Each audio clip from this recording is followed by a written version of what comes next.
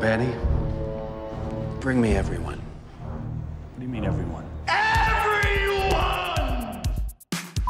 I have come here to chew bubblegum and kick ass.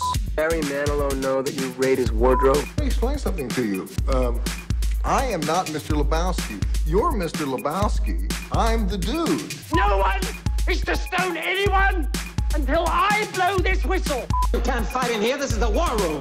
Surely you can't be serious. I am serious. And don't call me Shirley. Hubba hubba. Hello and welcome to Zedos Gang, episode number. I don't fucking know, seriously. I mean, when was the last time I actually knew the episode number, eh, Ken? I don't know. We, I think I I don't think think- about one twelve, something like that. I, 12, you think? I'm, I'm, I'm waiting for Joe to give me a number. I asked him, but he hasn't come back to me with a number. Oh man, we got we got to take bets on this. We got to take bets on this. Maybe next week I'll get it right. Who knows? But and introduce the show more professionally and properly. But I doubt it. But we'll see. We'll see. Um, but yeah, today I'm joined by, as always, Kenan Akbulut. Now you kind of become a regular fixture now. So like I every know. I'm every liking podcast, it. yeah. I'm liking it. That's good. That's good. And then, of course, we got we got two of our regulars that c- well that come every. You guys have done more than one podcast. We got Yep. Salman the Great and Amrita the Magnificent. There we go. Oh, How you doing? I'll take it, thanks. Cool. Oh. And we're on the way. So Boom. yeah, got a couple of trailers and stuff. Comeback Trail with Robert De Niro and Morgan Freeman. And did I spy Zach Braff from Scrubs in there? Yeah, Yes, that's you him. did, yeah. yeah. He's a co-star, man. It's him and, And Tom, Tom Lee Jones. Tommy Lee Jones, and Yeah. it's like Bill Anthony Hirsch. Lee Jones, you know, so that. Um, Oh yeah, Emile Hirsch. Yeah. Yeah. That kid, that kid's just, you know what? I'm going to say this straight. He was personally my first choice for Spider Man, like since day one.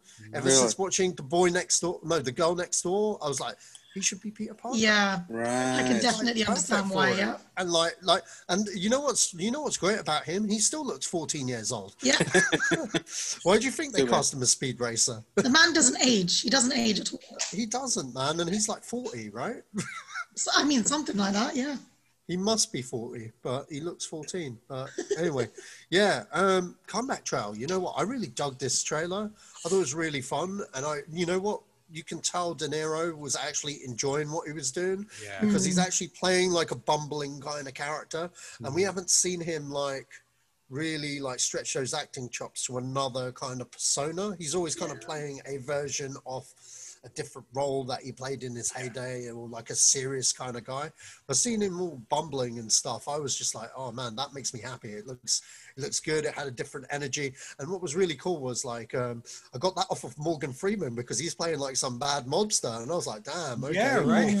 I was like, damn, cool. You know what I really want to see? I'm going to throw it back to Spider Man again. Whoever watched saw the Electric Company adverts back in the 70s and stuff, where they'd have Spider Man in a suit and he'd speak in speech bubbles and shit. It was like an 80s skit. And there was always a cop, and the cop was this black cop. And you know what? It only took me like, I don't know, two years ago. I rewatched these old sketches because they showed up on my YouTube page because I was like, obviously googling whatever fucking Spider-Man, and it showed up. I was like, I remember those sketches, and you know who the cop was? Morgan fucking Freeman. And I'm like, Oh, why is no it. Morgan Freeman No. in MCU? He should show up. He should play a cop, and it should be the same cop from the 70s. Boom. But anyway, Ken's Ken's a Spider-Man fan. He doesn't know what the fuck I'm talking I about. have no check idea. that. Check that shit out now on fucking YouTube. It's gold. It's gold. It's like Spider-Man. Like if he's like a kid's like obviously there was no like film version of Spider-Man back then, so he was like a kid's uh, TV kind of persona. And when he spoke, he spoke, and it will have like the comic bubble, and then like Right. Morgan Morgan Freeman would just show up as a cop, going, "Hey, Spider-Man, how you doing?" I'm like, he looks like a young Morgan Freeman. Oh wait, it is a young Morgan And Freeman. Morgan Freeman started Mind blown. Spider Man and Batman. yeah, see. There you Yeah, exactly. Yeah. But anyway, yeah, back back to thi- this. Yeah, this trailer gave me happy vibes because it's a comedy. We haven't seen some. I, I feel it's been refreshing that we haven't seen a comedy like this in a while. I like the premise. Tommy Lee Jones is just giving me joke, just being Yes. serious and gruff. And um, yeah, um, what, what are your thoughts, guys? Yeah, I thought the trailer was fantastic. It kind of gave me a little bit of an Argo vibe. Um, yeah, you yeah, know, I from that point that. of view. Yeah. Um, it's uh, it's a remake. Um, so Oh, uh, really? Okay. Yeah, Harry Her um, Harry Hurwitz. Uh, he directed it back in 1982. Uh, if you look at the credit title on this one, it says based on uh, Harry Hurwitz's film as well. So they you know, Okay. credited him in, in that as well. Um, I, I, you know what? I'm sensing, um, a, you know, award nominations here. You know, in terms of that, you know, you know, especially Really? when it comes to yeah, I think Golden Globe, something like that. You know, I could see I could see De Niro or something like that, just like um, best supporting actor in a in a comedy or musical, you know, or something like that. Um, if you think of like what The Martian was up for when that was around awards season and stuff like that. Yeah, I've got some vibes where I think there's a few performances in here that you know could could go to award season. I think it is a little bit like that. Zach Braff, um, we haven't seen a lot of him lately. You know, he often tries to do his own projects. So actually, I was looking to see is he writing this? Is he co-writing it? He's just starring in it. Um, so you know, I think that gives him a bit more free reign because normally he's got two or three roles on a film that he's doing. Um, but yeah, I, I got good vibes to this. I really, really enjoyed the trailer, and yeah, I wouldn't be surprised if th- this was playing around award season from particular performances. I know it's a comedy, but yeah, because I got that Argo Rule out comedies. Yeah, because I got that Argo vibe. That's that's how I'm feeling with it. Mm. I sort of felt like it kind of, uh, you know, that movie that with, uh, what's his name? Um, oh my God, who was in Gladiator? Who was that guy? Russell Russell Crowe. Crowe? Yes, Russell Crowe. His movie recently that he did with, uh, oh man, my brain is completely dead today. What was the one the cop? The, the he was playing it. What, what, uh, The, the other guys, the nice guys. That's it. Nice guys. It kind of made me feel like that sort of thing, like the early '90s, late '80s movies. You know, John. Or what are where called it's cop kind of, movies. or where it's kind of quirky kind of comedies where like the script's on point and the premise Yeah. is good, and and and films are actually made kind of decent rather than like on a fucking conveyor belt. Yeah, totally. Not only that, all, all, all the characters are lively. You know, they're all jumpy Yeah. and they're all doing something. They're not just there to fill the scene. You know, they're not Yeah, just there sure. to say it like and bugger off. Now they're there and they're part of something. Even tiny ones, but still there. They kind of gave me the feeling of that. And I like I like the uh, in the trailer the to and fro between Morgan Freeman and uh, Robert De Niro, and that Yeah. kind of gave me the same feeling as all those movies that I grew up on. Really, so I'm really looking forward to it. I mean, it should Yes. be fun. Uh, hopefully, Yeah, it's fun. now that you say to it, it does have kind of like that get shorty kind of vibe. Yes, Exactly. And like, if anyone knows me, that's like one of my favorite films of all time. That's like actually my favorite John Travolta film. Like, Oh, yeah. for real. Like, I love him It's Chili Palmer, man. That that whole film is fucking jokes. I think it looks amazing as well. My my whole vibe is you guys have mentioned some great 70s films that it picks up on.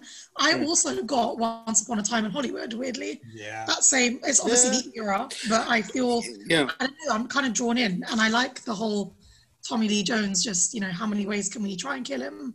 I'm down for that. I think you'll Yeah, it kind of reminded me of the big hit. You know what I mean? Yeah, Do you remember the Big Yeah, yeah, I Yeah, know the yeah. big hit. The- yeah, but all trying to, you know, what, what I call the abduction of the little kid, and they're all messing around and they're all messing up. Kind of Mm-hmm. gave me that feeling. I, I think I like this film simply because I was like a teenager then, and movies were like a dear thing to you, you know? Yeah. You know, I'm so glad you mentioned the big hit, man. That's one film everyone should see, man. Oh. That's Marky Mark and the Funky Bunch at his best. Agreed. Exactly. Love that film.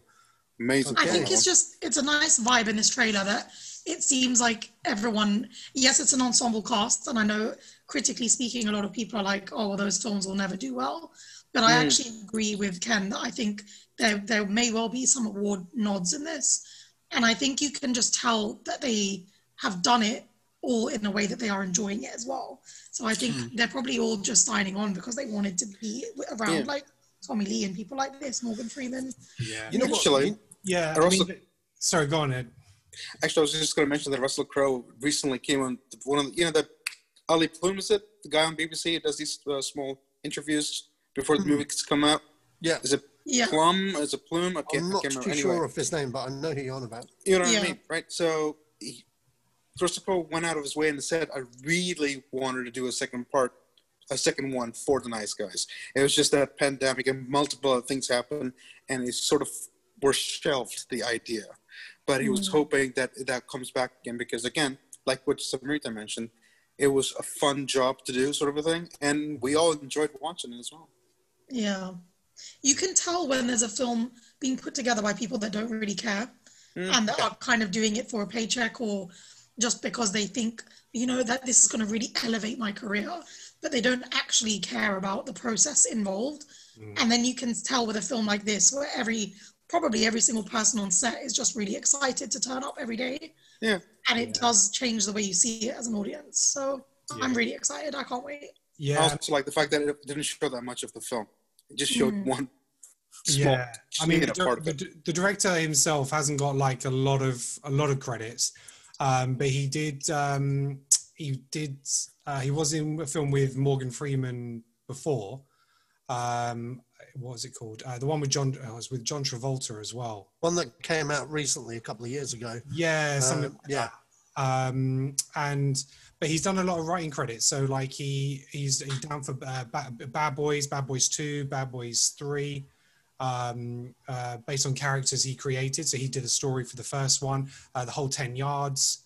Um so you know he's been around for a little That's while. the writer, right? That's the yeah writer? uh, the, he's the director but he was did writing for those movies so yeah so he's been around a little while but um yeah it's, you know he's seen he's also wrote uh, wise guys with like danny devito. Mm. um, so yeah he's, he's been around a long time um but he just hasn't got that many directing credits. So you know he's obviously got a, normally he's a writer so now that he's you know he's got a story from somebody else he's focused on the directing and um yeah i, I think i think it's gonna be a lot of fun. Let's hope. Okay, next film we have The Doorman uh, with uh, Batwoman herself, Ruby Rose. And you know what? I was really more attached to this trailer because my man Leon showed up in here, Jean Yeah. Reno. And you know Oh, what? It's like, and it just felt like a breath of fresh air and seeing him back because I haven't seen him in a hot. I know he's been doing a lot of French films lately Yeah. and stuff Yeah. and you know he's a huge French star, but like I just feel like Hollywood has kind of missed him because when I saw him, I felt happy. I was like, I was like, there, there could be two ways. He's either a jokey person or people about to get fucked up, and Yeah. I don't know because like I don't know which one he is because like I think he came across as a mad guy in this trailer, but you know what? I was just happy to see him. Um, Yeah. Ruby Rose, I, you know what? Yeah, she gets a lot of flack, and that's mainly, but you know, and I've not seen the Batwoman because it's not, you know, I don't like any CW superhero thing. That's just my, you know, I, Ken knows this. It's just my, just not my forte. But you mm. know what? Like, I liked her in John Wick. I liked her in all the films that she's done. So I'm kind of looking forward to see her kick some ass in this because she's a good fighter. So I don't get where why all the hate is there, but you know, I'm not going to judge her off of Batwoman, that's for sure. So I hope not, because has anybody here seen Batwoman? Uh, I saw No. her in the crossover episodes, uh, but not the her own series. Well, the crossover episodes were the best episodes of that series because I watched that series, and unfortunately, it's horrifically bad. I mean, it's so bad that even they said that they're going to change the person. I thought, if they don't change writers and other people produced on that show, it's not going to do anything. I mean, that show is unbelievably shit. I mean, And that's the thing. I can't imagine that it would be bad because she's bad. I feel like no, it it has nothing to do with her. well. Nothing to Yeah. do with her. You can tell it's um, half-assed done. The production is badly done. Editing is sometimes off. Um, but the writing is. I mean, like, let's put it this way: you have no idea where they're going. Literally, no clue. Mm-hmm. Every episode is beyond boring. But that said, about this movie though, kind. I hope it's good. I hope it's one of those action flicks that you go and watch. You know, popcorn movies. Let's put it that way. That you can go and have fun and watch. And I do love uh, Jean Reno. I haven't seen him in a long, long time. So it should be. I'm hoping.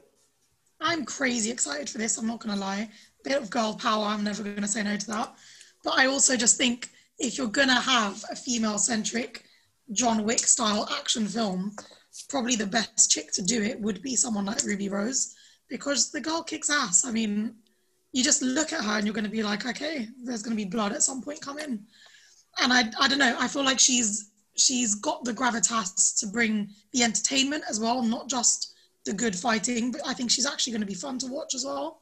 And I like the premise. Like I like these uh like situational films where it's one setting and you're kind of thrown in the midst of all of this action going wild. So I can't wait. But Jean Reno definitely as a French person, half French person. I can't wait to see him back in Hollywood again. Um, and I hope that there's some kind of like Leon vibes going as well. We'll see. I don't know, but I'm excited. Um, I can't say I was impressed with this one. Um, I was, I just, it's, it's, I just felt like I'd seen it all before. Um, yeah, I could see that. on So end. it's, I mean, it's a remake anyway, again, um, but it it just felt like Die Hard. You know, it's Yeah. a situation in a building. You know, she's working her way through the building to get to the bad guy. Um, yeah, I haven't seen. You know, I loved her uh, Ruby Rose in Orange Is the New Black. Um, you know, I loved her character in that. Um, like I say, Batman. Uh, sorry, Batwoman, which she was playing in the Crisis. She was fine in that, but yeah, again, I just wasn't drawn into that series, and obviously now she's left that as well. Um, I'm not sure she's quite got the star power yet to hold a movie, so you can see why they've gone with um, a bigger name for the baddie. Um, Yeah. But uh, but yeah, I, yeah, I just don't think this is going to do that well. I mean, in terms of um, uh, uh, Jean Reno, you know, he's uh, he's he was actually in uh, Die Hard. You know the um, Oh, the John Travolta, Kevin Hart. Kevin Hart thing, yeah. So he's, Quibi he's thing, yeah. He's in a lot of that as well. He was in uh, The Five Bloods. Um, so he's, he's been he's been in a few things recently. Um, so he's kind of doing it like you said. He's w- went did loads of stuff in France. He's coming back and doing more of the American stuff at the moment. Um, but yeah, just yeah, nothing draws me into Ruby Rose at the moment. There's just nothing there for me to kind of get excited about with her. Um, You know what they should have done with this movie? They should have filmed it like the fucking raid. If Ruby Rose Yeah. had like taken someone out and like uh, Robert Pattinson in that Batman trailer, the whole world would be watching that a little differently. Yeah, there, there was. true. Yeah, Yeah. exactly. So she was just fighting multiple people in this. So it was showing her multiple fighting skills, which is fine. But there Yeah. wasn't that moment where I was like, oh, you Yeah. know, which will kind of draw you. Because you want to, because with with action films, these This John days- Wick was Yeah. the one chosen, right? Yeah. Yeah, she was- action films, yeah. Yeah, that's right. But with action films, I feel that if it's not raw, it's just generic. If that Yeah. makes sense. If it's not filmed like the old school style, Guerrilla then it's just ju- then it's just not guerrilla style. Um, how they did in the eighties and the nineties, where you could see the action. Because I think, I personally think, um, Jason Bourne was a blessing and a curse. Okay, because what Yeah. it did, what it did, they used the shaky camera thing.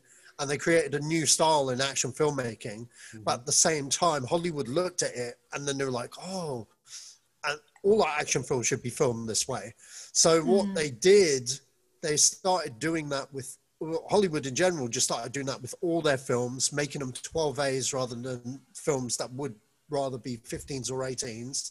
Um, obviously, to cover up the violence mainly, and then basically. Um, what happened was action films, Hollywood action films, just start to look all the same again.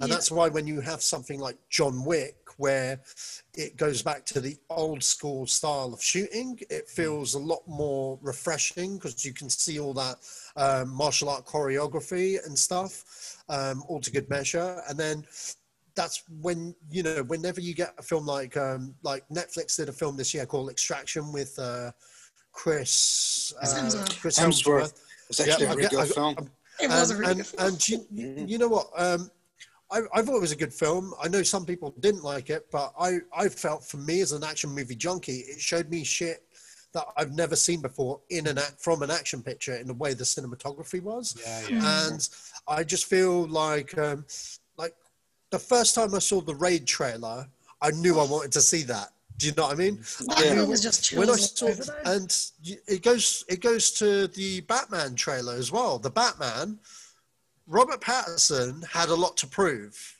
You know what I hmm. mean? And that I've not seen trailer, the trailer. oh mate, I'm not going to. Okay, fair enough, for the film. fair enough, Fair play, fair, fair enough, play. fair enough. Yeah. All I'm going to say in that trailer, anyone that thought he couldn't make a good Batman, half of them shut the fuck up. Like mm-hmm. literally, mm-hmm. half of them shut the fuck up. There's still people going, eh, but you know what? Fuck those people because I'm sold. I'm in. Yeah, yeah, okay, totally. I'm in. And it's quite literally like, um, I just feel gen- the generic action picture these days just doesn't cut it. You know what I mean? Because I think people that are into that genre know what they're looking for from an action picture. Yeah. Yeah. But for me, like I said before, despite me saying all of that, I think I was just hired because John Jean Reno was there. you know, because it was like this old school guy I hadn't seen in films for ages. I didn't know he was in the Five Bloods, and I still haven't seen that yet. That gives me more of a reason to go watch it now. So Yeah. I guess like my issue with this film is not the fact that it's an action film and all of that, although all of your points are valid. Yeah. And I can see the points, but I think I'm still excited to watch it at the end of the day. Uh, my Oh, yeah. issue is more that I wish that she that Ruby Road, Rose had a film that was more characterful, actually giving her something she could put her teeth into. Oh, yeah. because you mentioned Ken earlier, Orange is the New Black. Mhm. She is fantastic in that, and she has a character that is different to what we've seen her play before. Yeah. And she shone in it because it was different and it was real and it was gritty. I would love to see her do things like that more than Yeah. just be like the token action chick. Well, that's it because yeah, because the next movie coming up um, is um, SAS Red Notice, uh, and that's Yeah. again it's a small army of well-trained criminals. You know, it's, it's got Tom Yeah. Hopper, Andy Serkis, um, Hannah John Kamen, uh, or Carmen, uh, Tom Wilkinson. You know, so it's got, it's got a few names in there. Um, Mm. And but then then after that, that's going to be interesting. Is um, the Longest Night. Um, Oh, so that is with uh, Morgan Freeman. Um, Okay. And basically, but it's, it's like a kidnapping type movie. another Well, remake. Thriller? there's there's Sorry. like two other longest nights. Yeah. So this is an action crime thriller. So this is like um, blackmail, kidnapping kind of thing. So it might it depends if it's going to be action. You know, it might be action as well. And Morgan Freeman is that he's in it for like ten minutes. You know, to sell to sell the film. So yeah. um, because there's not anybody and there's not much else in there. So it just seems that she's very much going through that action thing. And I'm just like, yeah, we'd like to see something a little different from you. Yeah. I maybe she loves doing that. She Oh, probably does. you- She's getting paid. I longest hope night, that She's getting the paid. Yeah. longest night has been directed by the same guy as uh, it's the same dude as uh, what's it called the uh, a De Niro movie that we just looked at. Oh, well, the longest night. Yeah. Yeah, George Gallo. Yeah, Yeah. oh the comeback trail. Yeah. Yeah. What I was gonna say, have you he's got a relationship Guys- with Morgan Freeman. That's like three movies. uh, have you guys seen Dark Matter the TV show? no. No. All right, I love that show because I'm a big sci-fi fan. Anyway, Ruby Rose is in one of the episodes. This is the first, I think, acting job she's actually done. Let's say outside Australia, mm. because it was way before she did Orange is the New Black, and in that she plays a sneaky kind of what a called role, which is that she comes in as an android and you find out something else later on, and that is actually a pretty good job she's done. If you guys want to see something a little different from her, you can look up that episode maybe. I'm looking it up now because it's something that rings a bell, but I don't think I've seen it yet. Oh, right. If you guys have Amazon right now, or not even Amazon, actually, you can watch it for free on Plex. You can just download that app on your phone. It's free. Mm-hmm. Yeah, And it's all free the whole- Amazon. there you go. So yeah, if you want to watch that on there, you can. It, I think the whole series is there for free. Let me just check. I'm, my, it is Plex, yeah. just looked it up on my TV right now. Anyway, so yeah, that's just, that's one of those cool TV shows. It ended too early. Anyway, back to you. Okay, so next trailer we have The Babysitter, Killer Queen. You know what? I haven't even seen the first one. I didn't Nor even know there was a first one. Has I anyone remember seen it? seeing. I remember seeing the big screen advert on Netflix. You know, when you log in, it's like this is Yeah. something new. But I just Ah. went for it. There are a lot of names in this. That- okay, am I correct in no one seen no one seen the first one? No, never No. heard of it. It looks Wow. fun, though, to be fair, because I don't Yeah. think I saw the trailer for the first one, but this looks kind of goofy, kind of fun. So Yeah. Yeah. It looks like the kind of film I would see with some friends on possibly a drunken sleepover Yeah. and never on my own and never on my wish list. yeah, I mean, there are a lot of names on this, but yeah, it, it's, it kind of reminded me of that. I mean, I haven't seen the show yet, but I saw the trailer. This on uh, what do you call Netflix? So I think it's Teenager Killers or something. Mm. I see Kind of been, reminded me of that, but I saw the trailer of that too. I haven't seen the show or movie, see it's whatever it been is. directed by Terminator Salvation and T- Charlie's Angels McG. yeah. Um, Mm, I see he did the first one as well, so he wrote he and did. directed them. So Interesting. I mean, like, you know what? McG gets a bad rap, I think, because he took that Terminator gig and people give Salvation such a harsh ride. I, I actually didn't mind Salvation because it's the only one that had the balls to do something different. Hmm. And for me, I like the fact that it wasn't overly heavily on CGI. Like, hmm. yeah, it had CGI hmm. in it, but it kept in vein of what one and two was with more practical kind of effects. And um, I think I think he just had the you know a bad script and did the best that he could with it. And now he just seems to be locked in this movie jail kind of thing where he's doing all this smaller, lower budget kind of stuff. Maybe he likes doing it. I don't know, but like. I know he was attached to Master of the Universe at one point, and I was like, he's like when he came to Comic Con talking about Terminator Salvation, you kind of got what his persona was like, mm-hmm. and he's a proper mm. fanboy. Like he's a geek, you know, like us that are into like comic book culture and stuff. And the stuff that he was referencing, I could tell he was genuinely trying to make Terminator work, if that makes sense. And I was just like, wow, I, well, I hope his Masters of the Universe works out because I'd love to see that. Because when he was pitching Masters of the Universe, I was like, yeah, that sounds like He-Man to me, but never came, never came to be. So you know, um, but interesting, interesting. I mean, it depends if the vibe is going to be. Do you guys remember the film Ready or Not? Ready or not? Ready or not? Which one? Oh, The- the like, one with the girl. if you get and- married, you're yeah, part of the yeah, yeah, family yeah. cult type of. Yeah. Yeah, that one. Yeah, that mm. was good. So yeah, it was actually. I thought it was going to be like a really stupid, brain dead film, but it was actually very entertaining. If this is going to be similar in tone to that, mm. then I'll, I'd be down. But if it's going to be just stupid, like nonsense cinema, then I don't know. Like, there's, you know, unless I'm drunk on a night sleepover, it's just not going to happen. Okay, I'm not next. sure, really sure I'm going to watch this. Okay, next up, Come Play trailer. Um, this one was kind of freaky, man. It was creepy. It was very creepy. I mean, like, I guess it's coming at the kids' angle, and that's what creeped me out a little bit. But then I think I it's, don't. a- It's I- like it's hard seeing kids scared on screen like that because it's like, you know, it's fair play to them as actors because it's just like it's, it's convincing, you know, and it's just like it's like I'm feeling for them more. Uh, if it was adults, it probably it just wouldn't have the same vibe. Yeah, I guess. But I mean, um, I think that's what makes it. You Mhm. know, I think that's what makes it by having it like with kids. I mean, this is a this is the first feature by the director Jacob Chase. He wrote and directed it. He's done a lot of short short films and stuff.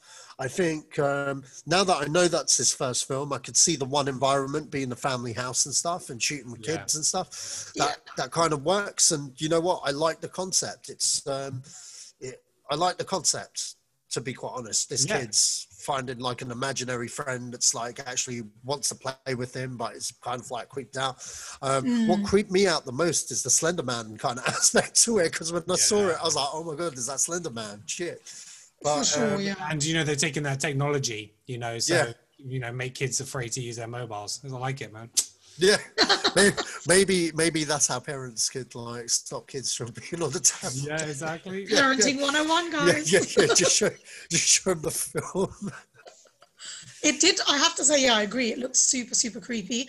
I think um, I'm excited as well. What's her name? The girl who's in it, who was in like Community and Jillian yeah, J- Gillian Jacobs. is it? Jacobs, exactly. Gillian Jacobs. I'm excited to see her in a role that's not comedy. So I'm, I'm intrigued. But I also think the fact that the kid is autistic as well, oh, it pulled on my heartstrings. Mm. But I just, Yeah, it's gonna be exciting because I'm still not convinced after watching the trailer that this uh, entity is actually evil. Maybe he really does just want a friend. I don't even know. But it looked good, and it reminded me of like a sinister version of a Monster Calls. If anyone's seen that, Oh, that film is so sad. it's really sad. But it was so it was based on a book by Patrick Ness, which I love. But the um, the story of like this monster that comes to life is, is something that tr- reminded me of this. And i think the way that they the book is illustrated reminded me of how he sees it on his um, ipad or whatever he's using in a similar way. And the illustrations were similar. And it reminded me a bit of the babadook as well. So i'm i'm intrigued for sure Okay, next up we have. Okay, I can't pronounce this. Can you guys pronounce this? Ammonite. Ammonite? I think it's Ammonite? Ammonite. Yeah, Ammonite. Ammonite. Ammonite. Yeah, I usually I'm the king butcher of names, so you know. um, yeah, Ammonite, directed by Francis Lee, or the acclaimed Francis Lee, that has Mhm. only done one film before this. So I wonder how good that film was. Um, um, that sounded really, really bad. Um, Kate Winslet. Kate Winslet is in this. Um, yeah, interesting trailer. I'm not gonna lie, it's not. It's not. Yeah, the girl from Hannah, right? Original Hannah, not Yeah, yeah. TV, not Original TV Hannah. Hannah, Yeah. film Hannah. Um, Mhm. Yeah, um, not really my cup of tea, to be honest, unless like I actually sit down and watch it and be like, oh yeah, that was kind of cool. You know what I mean? But um, what did you guys think? I can't really tell what the movie is about, really. I mean, I Yeah. sort of get it, but Yeah, not really. I Yeah, might watch it. it's about building a relationship at that time. So I think it's you know, um, he won. You know, she's um, like an archaeologist. It seems like uh, in some sense, and so then she takes her on as an apprentice. Reluctantly, they form a, a love relationship, and probably it's about the world accepting them, that kind of thing. Um, Yeah. The time period that it's set in. Um, it's like 1840s, 1850s, Yeah. something like that. Hmm. Um, so yeah, I mean, look, it's got it's got some fantastic cast in it um, in terms of Kate Winslet and um, oh, what's the name? Is it? Saoirse Ronan. Yeah, oh, yeah, I can't remember her name now. It's- it's- Saoirse Ronan, right? Is that the one you're looking for? Which Yeah, one? it is. Saoirse Saoirse Ronan. Ronan. Gemma Jones. Um, yeah, exactly. Fiona Shaw. Yeah. Um, so yeah, we'll have to say, we- yeah, it's very arty. It's very film festival, isn't it? So, um, so yeah. Yeah, we'll see. I think Then- it reminded me like a lot of a of a character type of film that they probably wanted to do it for the characters and for doing something different because as Yeah. far as I know, I don't think either of them has played like a, a kind of lesbian relationship in any film. I don't think so. I think for them, it's this probably you know an interesting actor's role, but I mm-hmm. don't know necessarily that the story is one that's going to be that interesting. Not in today's day and age. I don't know. Yeah. I mean, I mean, Ronan, she was fantastic in Ladybird, and she has, she's Mm. kind of got that face and you know character where she can do the time period stuff because she did like Mary Queen of Scots, uh, Little Women, Women. you know. So yeah, so she, you know, she's definitely kind of got a face and you know that character ability to to pass to that. Um, I think she's a fantastic actress, and you know, Kate Mm. Winslet rarely puts a foot wrong. So Agreed. Yeah. Yeah, good. Agreed. could be acting nominations. Could be acting nominations. Yeah. Could be. I mean, I don't know. We'll see. Uh, Well, with so many little amount of movies coming out these days, probably is. Oh yeah, Yeah, that's true. Yeah, you know I mean? the award goes to. I mean, really, I would say Sasha, come out with a short right now because there are like ten people who made shorts. Yeah. You probably could win an Oscar for that. I'm not Don't know- joking. I don't know about that, man. Trust me, I've gone down that route, and there's a lot of people trying to make all these isolation shorts at the moment. So Um, it's going to oh, be you, or it's going to be the seen Babysitter Stage? Club Killer Queens. yeah. Um, Who's seen was- Staged? Have you guys seen Staged? Staged. no. staged. No. No? Oh, you guys got to watch Staged. It's on Netflix and on BBC iPlayer. Uh, Michael Sheen and David Tennant. Oh, I do love Michael Sheen. There you go. hmm Watch Netflix one because that has additional scenes that the BBC that one doesn't. Okay. Yeah, there you go. Yeah, go on, Sasha. Well, Mon's tip of the day. I like it. Yeah. Okay, okay. So, next film, next film of the day, or topic of the day, is Grizzly Two, a film I never heard of ever before until yesterday. Where it was like, this sounds right up my alley. It's basically a grizzly bear film, like Jaws. Really, they should have called it Paws. Really, I mean, like, come on, man. But I mean, I mean, so like it's Jaws, but with Good on grizzly bears. With grizzly Mhm. bears. So the original Grizzly came out in the seventies, late seventies, seventy, yeah, seventy nine or something, Yeah. or seventy six, Yeah, just after, just after Jaws, because it was a rip off, but with a grizzly bear in the woods. So there was a sequel that that was shot in 1983. It even had a trailer. Mhm. It star what's it? It stars um, well, two people. I don't know who the main leads are, but um, John Rhys-Davies. He's also one of the leads. Um, the guy that played Gimli from Lord of the Rings, and Okay. uh, Sallah from the Indiana Jones films. Um, so yeah, he he was probably the biggest name that I knew from the main cast. But also in the cast, it has a young George Clooney, Charlie Sheen, and Laura Dern. Um, so this film it had some financial issues. One of the producers he um, he owed a lot of money to comedian Jerry Lewis, and it looks like he owed a lot of people money, but the film couldn't really have the budget to finish it. its effects work. And it kind of went into movie jail. Like they didn't even release it or even try to finish it and stuff. Yeah, producer But- ran off with the money basically, and then he got thrown in prison Wow. for tax fraud. So There we go. And um, yeah, so they never finished it. But now, thanks to like film fans across the globe, we've managed to restore this this movie and see whether it's truly a sequel worthy of the original. Um, funnily enough, I never even heard of the original. I only heard of this film. But you know what? There was a remake that came out back in 2014 with Thomas Jane and James Marsden and Billy Bob Thornton and uh, I don't know who else was in there. And I had no clue like if yeah, that was even a reboot. or something. Yeah, But you know what? I didn't even know about that reboot. I didn't even know about these films. But you know what? Jaws, but a bear. I'm in. I want to see that film. yeah. I mean, you, the, the, you can, yeah, you can. The, the trailer's out for it, and oh my god, it looks awful. Oh, geez. Uh, but Oh, uh, but you know what? It's awful in a cheesy, funny way. That's the no, that's the that really is not. my mate. That's my favorite kind of movie. Seriously, I love films like that. You know why? They're fun. yeah, I mean, if you Like- see if you see the grizzly in the thing, it oh, it's just it's so bad.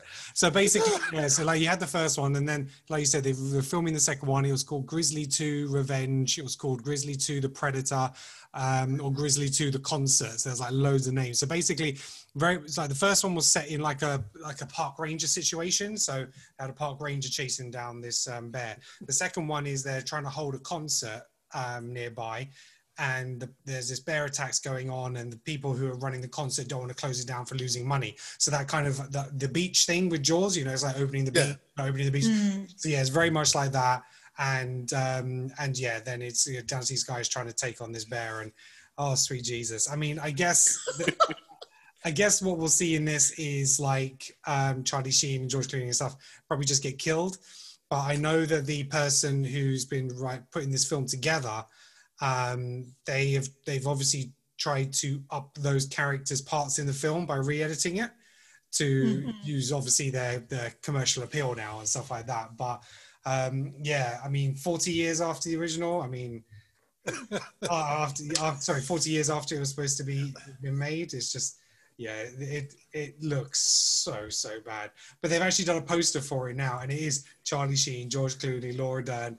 They are like the main people on the poster, and you know they're gonna have like two minutes of screen time and get killed. It's just like, yeah, crazy. Uh, I'm in. Sign me up. Sign Yeah, me honestly, up. I'm right with Sasha here because I feel like, Yeah. listen, what sells in the world? Sex sells, we know that.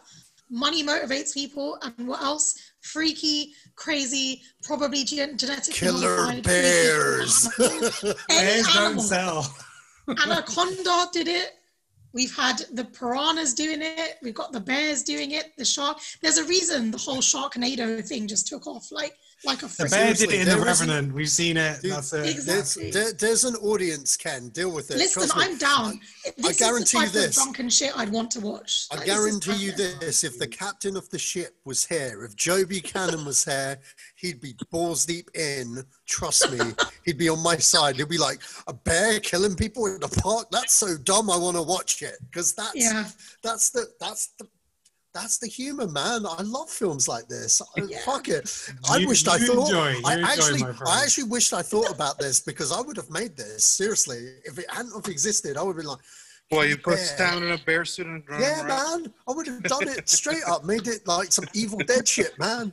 Would have shot it on Harrow on the Hill as well. Well, it's, it's, it's, it's, it's, it's a nice short film. It's like 75 minutes, so you'll be all right. oh man, sounds great. That's 75 minutes. I need to get this on Netflix, man. Honestly, though, like this, this is the It's coming out on streaming. I don't know which which one, Wow. but we're gonna have to find out. We're gonna No have to one's this is the type of nonsense though that you'd want to watch. It really is. You know like, what? when I you have want that brain numbing, like after work, you don't want to think about anything. You don't want anything that's going to be too engaging. This is the type of shit you want. yeah. A killer bear on You- the list. Because You know when I read the when I read the topic, my brain went to the edge. Remember the edge? Anthony Yeah. Hopper? That's what I was thinking that maybe like until Kenan op- you know, opened his mouth and told us it was a pile of nonsense that's gonna come out. it's like uh, a walking shark. It's like Sharknado, but in bear. Yeah. You know what? You know what? Speaking of nonsensical films, trust me, um, you guys need to check the film The Miami Connection. Just check that trailer. It's amazing. It's quite literally they're this 80s boy band, not boy band, rock band, and it's the 80s. They're like teenagers, even though they're blatantly 30. I love it And- and literally like one of their friends dies or something and they've basically got to avenge his death because they're also kung fu masters and they're going to take take down the ninja that killed him. Of nuts. course they are. it's it's nuts. It's nuts. It's crazy. It's got some sick martial arts. Not really but um questionable martial arts and really amazing acting it's so bad it's great Oh my god, I'm looking at it right now. check it That- out man The poster's cool though. But no, no, but check the end of the trailer. The end of the trailer, you're gonna laugh your ass off so hard. I'm waiting Really? for it. but yeah, people watching Miami Connection, check it out. Ken, definitely watch it. Uh, All right, cool. Ken's not impressed. but yeah, Um, a- anyway, if you want to know more about this Grizzly, they've actually got a website up. It's um, grizzly2revenge.com. Um, and they've done the, they've done like the homepage, like it's like this official selection Hollywood Film Festival winner of merit. They've got all this bloody crap on it, Festival decans and all this shit. But then they've got like it tells you about the cast, the crew, the history about the movie, synopsis. So yeah, there's a whole there's a whole website dedicated to it. So yeah, check it out. Oh man, Right. I love the name of the website too. They're not holding anything back, are they? No, it's like even got George Clooney as Ron. It's like he's got a picture of him like from the movie, obviously, like looking like 30 years old. But it's like he's an American actor, producer, filmmaker, recipient of three Golden Globe Awards, two Academy Awards. It's like they're selling it like it's now. It's so funny. So it's, oh, it's crazy. Well, I'm, I'm actually looking at the fact that he hasn't pulled uh, Keanu Reeves. Remember that movie he did in which I think the posters had they removed his name off, and like anything to do with that film. yeah. Actually, you must remember this, and Keanu, you must remember this movie. I can't remember which one it was. Like they, well, the whole marketing had nothing to do with Keanu Reeves, but he, as soon as you started watching it, Oh, like 47 he was Ronin. Huh? 47 Ronin. Was it 47 Ronin? 47 Ronin because he was supposed to be a bit part and he was the only famous person on there in the cast. Right. And then the studio came and interfered with it and they kind of tried to make him the main character. Right. And um, apparently the film's really bad. I've never seen it, but like Joe loves it. Don't know why. Oh, yeah? but, you I wouldn't say it's really bad. It's just not the normal standard that you'd expect. But it is actually enjoyable though. It's not a bad film. Okay, fair enough. Yeah. I've not seen it. I, I need to check it out though. It's got hmm. Keanu. How bad could it be? Exactly. Saying that, saying that, one of my friends is in that film. My friend Mariano, he he was in there. Right. Um, okay, moving on. Moving okay, on. so David Fincher returns, and he's released the first images for his movie Mank, starring Gary Oldman and Amanda Seyfried, based on Orson Welles' Citizen Kane. Um, I'm actually kind of looking forward to this because um, one, it's David Fincher because that guy hasn't done wrong since Alien Three, and um, He hasn't done anything since Gone Girl. yeah, that, that- yeah. So you know, I'm I'm totally in, I'm totally in. But um, the making of Citizen Kane, wow, that would be kind of good because like Orson Welles was quite an eccentric guy, but then this this film was like kind of like the beginning and kind of like yeah the downfall and making of his whole Hollywood career because if you know anything about Citizen Kane. Um, that film more or less changed the way movies were made. Everything, every single tr- anyone that did film school ever would have heard of Citizen Kane. Um, if you've ever studied films, everyone refers back to Citizen Kane because you wouldn't have narrative storytelling in the way that we have in movies now if it wasn't Yeah. for that film um, that film did so much for cinema in like one picture that the critics slammed it at its time because they didn't understand it it was like so new It was ahead of its time. yeah, it was well ahead of its time. And you know what? When I was like 18 or 17 and I was at film studies, I watched it with my whole class and everyone was panning, panning it. And I was like, look, because it was old, it was like a black and white film. We'd never really watched a black and white film before. And I was like, well, you know, there's a reason why they showed me it and I want to be a director. So, you know I mean? I may not get it now, but I'll always remember it. And you know what? I own it now because um, I remember rewatching it on TV and I learnt more the second time around by watching it because I was older and I could comprehend like what the fuck the director was doing with the frame and shit. And I was like, wow, this film is, and this came out when? And when you look at the films that came out then, it was so fucking good, man. It did so Yeah. much shit.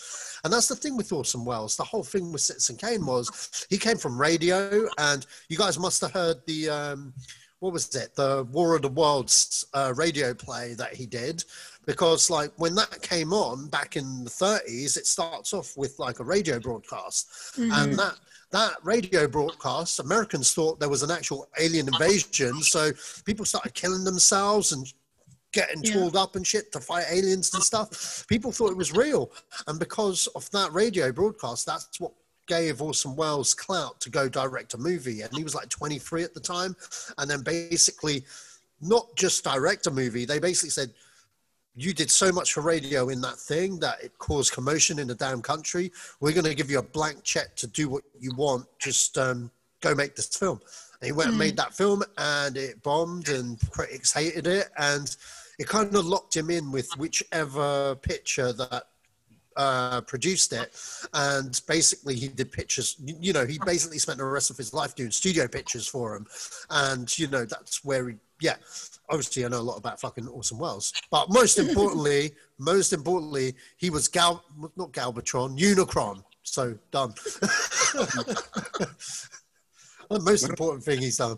But anyway, point being is, I want to see it. I think any film, any film fan or film studies student should watch watch this film because we're This- probably going to get an insight into the making of Citizens Kane and what went on and how people probably thought Orson Welles was nuts because he was basically changing the game. So Yeah. yeah.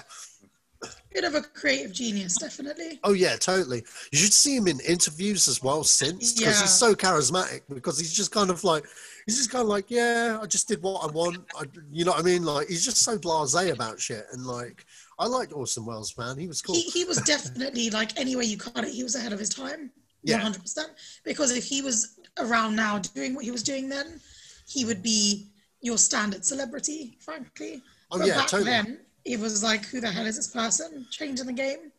But I'm I'm crazy excited because I think, yes, it's a, an amazing story to begin with anyway, and a very interesting thing. Like you said, any any person that did film, like you said, knows this Yeah. and knows all about it. And I I certainly am one of those people, and I'm intrigued to see where they're going to take this. But I also, from the stills I've seen, it looks really well, kind of like the setting, the mise en scène of it all looks really well done. I'm excited to see Amanda Seyfried as Marion. I mean, the look is yeah, it's a great, it's a great look. I'm excited. Anyway, you got it. You know what my favorite Orson Welles film he directed is though? It's not actually Citizen Kane. It's actually Touch of Evil. Hmm. Touch of Evil. I fucking love that film, man. With Charleston Heston, Heston playing a playing a fucking um. What's he playing? He's playing a Mexican. A Mexican? He's playing the lead character's a Mexican, but it's actually Charlton Heston, like pretending to be Mexican. But it's a really good film, man. Check it out, man. Check it out. Um, but that's like if people that listen to us actually want to go back to 1930s films. There's a lot of good 1930s films, man. Seriously. There are, but none like Citizen Kane. Yeah, true.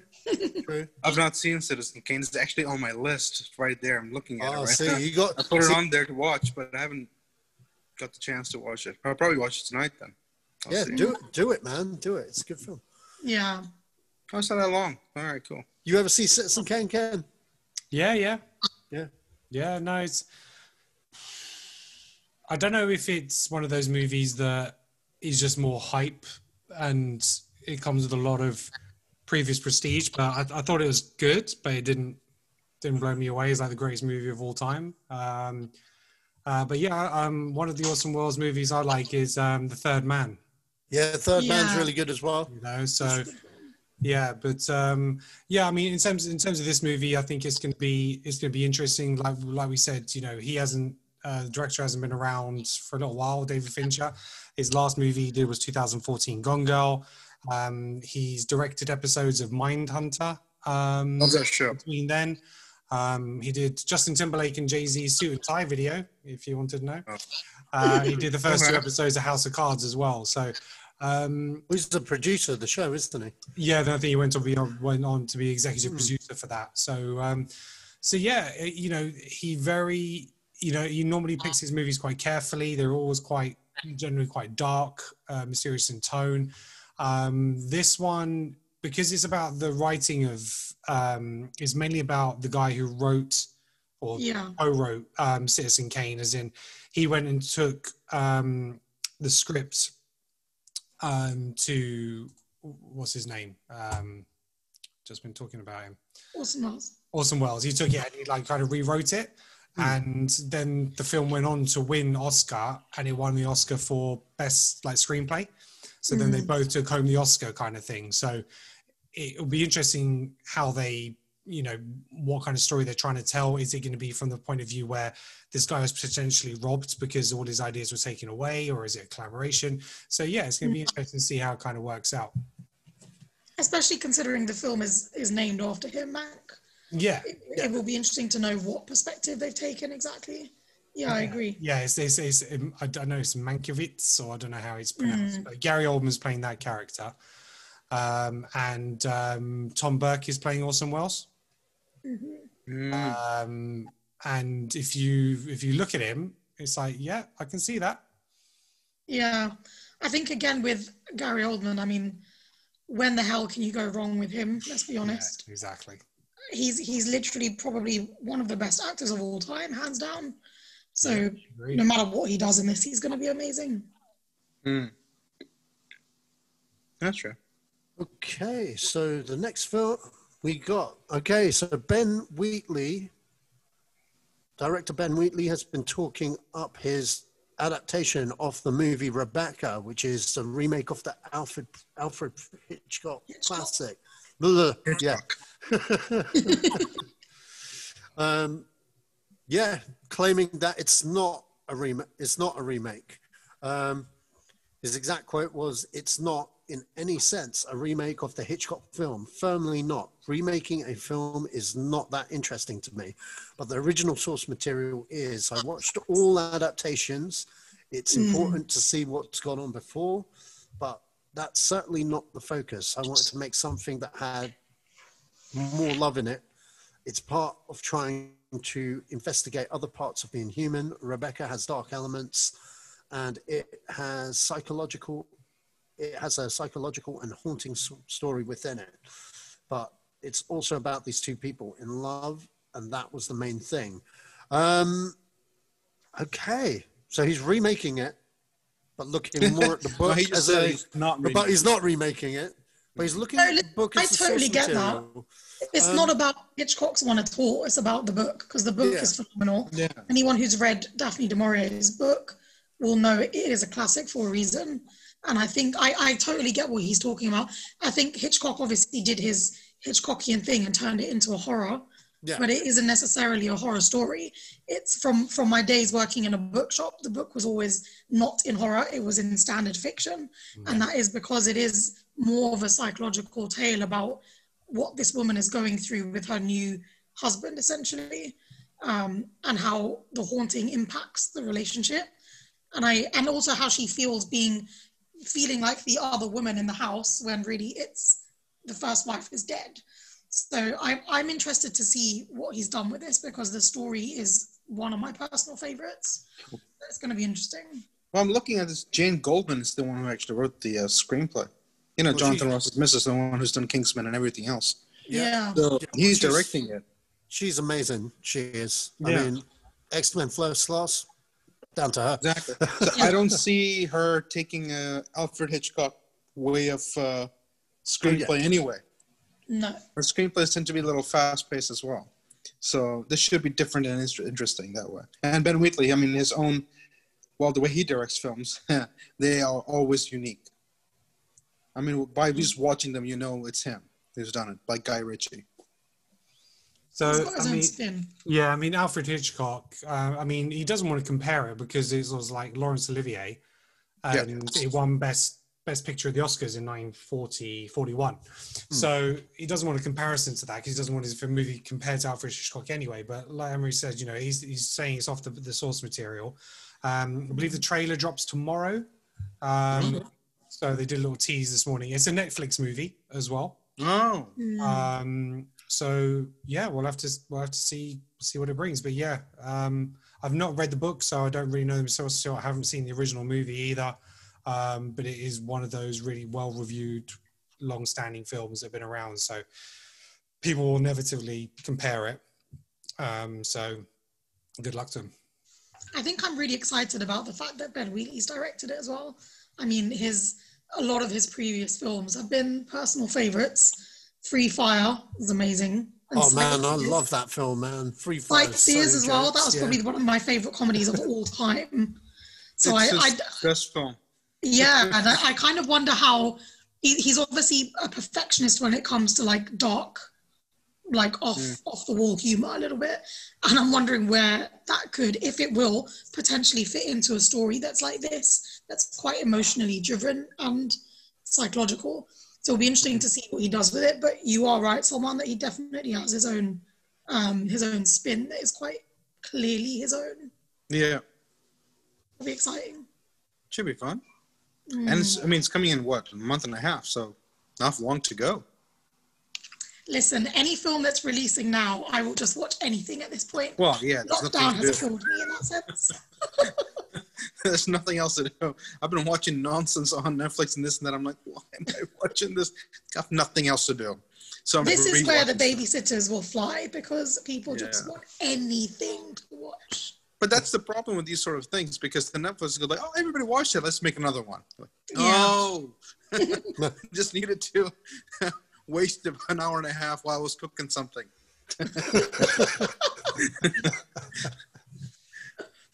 there you go. Anyway, what's next on the docket? What's next? Okay, next topic. Ridley Scott is at it again. He's talking alien. He's talking alien. Talking more What did you s- aliens. Yeah, his exact He's words. something, isn't he? Hasn't he? Or is he about to release something? Uh, yeah, he was talking about his HBO Max series, uh, Ra- Raised with Wolves, which looks really good. I think I like the Mm, trailer. that does. It does look intriguing. Um, But yeah, his exact quote on Aliens is that's in the process. We went down the route to try and reinvent the wheel with Prometheus and Covenant. Whether or not we go directly back to that is doubtful because Prometheus woke it up very well. But, you know, you're asking fundamental questions like has the alien himself, the face hugger, the face, the face hugger, the chest burster, have they all run out of steam? Do you have to rethink the whole bloody thing and simply use the word to franchise? That's always been the fundamental question. Now, thing is with Prometheus and Covenant, the whole idea was to not do an alien film, to do something that science fiction horror, but set in that universe. But the minute you hear alien, obviously there's the audience's certain sort of expectation. I felt I liked Prometheus a lot, despite its flaws. I felt its biggest flaw was showing to the dumb people, "Hey, look, there's an alien at the end. It's connected." You know what I mean? I didn't. I that would have made the cool like um, after credit scene. I felt rather than thrown it in right at the end. But Covenant, I just felt was dog shit. Um, Joe and Leo would differ here. They'll be like, "No, you don't understand it." I was like, "Well, Oh no, I differ from you. I, I- mean, Yeah. I have. I'm not going to say that is what I call the reason why it's good is because it fits in somewhere. The only reason I say it's just okay or good is because I had fun watching it. That's it. Yeah, no fair other, enough. No other argument. Fair enough. I, I, I. I, I, I didn't I didn't really enjoy it at all. But um, you know, smarter people smarter people did, and you know that's good for them. Um, like Joe and Leo. Um, but yeah, um, I get his comments. I mean, like, if you're gonna do it, you've got to show something new. You know, obviously. Um, whether he does it, that's the thing. Is he to do something new with like um, what they were doing with the engineers and stuff, or is he to do a different sort of alien film? I don't know where you could go with this franchise personally because I'm not thinking shit up. And the thing is, his deal with Fox was to do eight more, and he was talking about doing eight more around the time of Yeah. Covenant. I And- think, and I think um, you and I and Kenan here, we had this conversation on another podcast. yeah, that's right. just a month ago or so, maybe Yeah. a month and a half ago, about reviving franchises and, uh, and what I call expanding them. Yeah, And I think Alien was one of the topics, and we sort of ended up with thinking get that if there's no new idea, it's just repeating the same thing again. yeah, sure. If it's repeating the same thing again, I think half of us will be perfectly fine if nothing else came, because I I don't think think. Yeah, go like I was just gonna say, I think the thing is like I, I Sash probably knows this, but I am absolutely not a fan of Prometheus or Covenant at all. There you I go. think I have a lot of respect for Alien as a series on its own anyway, pre Prometheus. Hmm. Um, and I understand a lot of the reasonings and the concept of Prometheus, and I actually respect them a lot. I think what they what he wanted to do initially is a fantastic thing. And I would have liked to seen it had it been probably done a little bit more in a professional way, dare I say it. I feel like there were many, many, many flaws in the way that Prometheus was told. And Covenant, I'll be honest, I didn't even bother watching. I was that cheesed off with the series. and I, I live with my brother who is obsessed with the two films, has watched Yeah. them countless times. And he is always telling me, oh, you should rewatch them, you know, get a different perspective on them, blah, blah, blah. This, have you, don't you remember this bit and don't you remember that bit? And Wait, wait. me- Which two films? So Prometheus and, Pro- and Covenant. Oh, okay. I thought you were talking Yeah. about Alien and Aliens No, no, because no. that's, that's my So he, jam. he loves those two. He loves those two, but I oh, also okay. love those. There's he's no perspective when it comes to Covenant. There's nothing. It's Exactly. people running around in jungle. That's it. Exactly. That's the reason I like about it is because it reminds me of that first scene of Rambo. Yeah. That's what became complete shit, you know, and nothing else happened. That amazing scene, and then you know that was it. That was the whole part point of the whole movie, really. Those two movies just blend together for me. Sorry. yeah. Those two movies blend together. I could, I, I could, I could probably tell you roughly what happens in each one. Yeah, there. Uh, Yeah, yeah. Probably not. Probably Nothing cross over a lot. Yeah, but you're right about this. There's nothing substantial about it. I mean, like, if you look at Covenant, then you go, okay, fine, I see what he's trying to do here, and Yeah. you see it's essentially it's like, it's like okay, let's take another franchise and tear it apart. Star Wars. Remember the the the this what it called the first one that just came out by Disney, right? Was it Force Awakens. seven Yeah. or something? Right. Yes.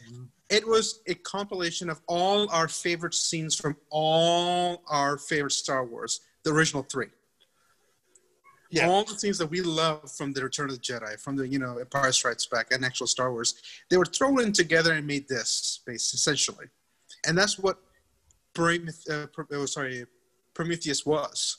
It was small tidbits that we liked of aliens instead of having the alien Yeah. we had that. I mean, that's the biggest problem with that whole movie because Alien wasn't actually there, right? It was essentially tiny babies running around, and you're they're f- running, you know, away from that, and that was it. So essentially, dude, if they, feel- if they can make more money, fine. But otherwise, leave it alone. I feel like it's deeper than that though as well. Like I had a real problem with the way Prometheus was edited. Uh, A massive problem with it. There were so many things that just felt like not properly um, rendered, not properly finished or explained or anything. rushed. Yeah, exactly. And I feel Yeah, like this I is know what exactly you're talking the- about. I know what you're talking about. if you Yeah. don't have a clear, perfect idea and you can't execute it the way you actually want to do it, then don't fucking bother because, we're- especially with a story that follows along something like Prometheus, if you're talking about like man's creation and potentially where we come from, and you have the role for once in your life as a director to potentially play God, then do it fucking properly. That's No, but thing, that's the thing.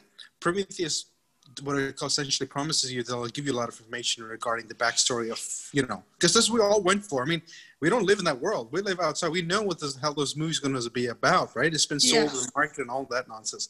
And you go there, and the first 10 minutes, it kind of gives you that feeling. And then the rest of two hours, nothing happens because they're just killing each other, right? Yeah, well, and the, then the cut- last the, five cut scenes minutes, explain a lot more. So there's there's a cut scene to it that tells you a lot more about the origins and stuff like that, and actually makes the rest of the movie make a lot more sense.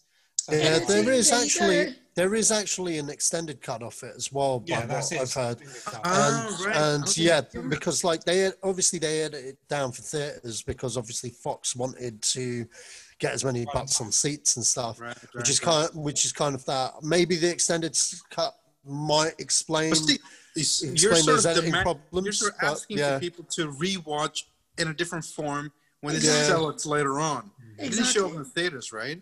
So you Yeah. just watch the first five minutes, you got the gist, then they mm-hmm. land on the planet, and then horrible things happen.